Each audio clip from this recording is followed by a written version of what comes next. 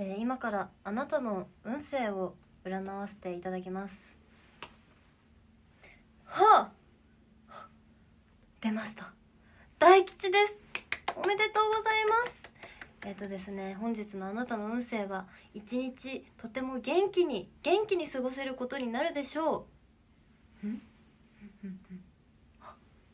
なんとあなたの運勢山下美月のファースト写真集を買うともっと運勢が良くなるというお告げが出ています。ということでこれはチェックするしかない。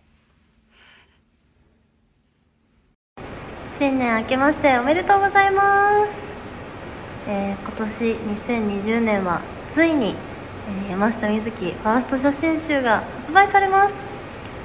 やった皆さんお年玉ちゃんと貯めといてくださいね。今年も1年頑張るので応援よろしくお願いします、えーお正月寒いとは思いますが体調気をつけてね。バイバーイ。チューチュー2020年になったでちゅ今年はネズミ年でちゅよろしくでちゅ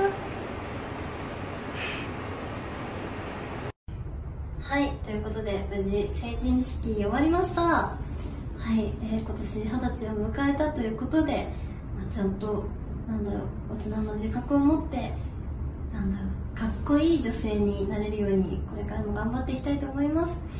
まあ二十、歳になって成人式を迎え今年今月あの写真集も発売ということで、えー、乃木坂の活動も今まで以上に頑張っていきたいと思いますのでこれからも応援よろしくお願いします。バイバーイ。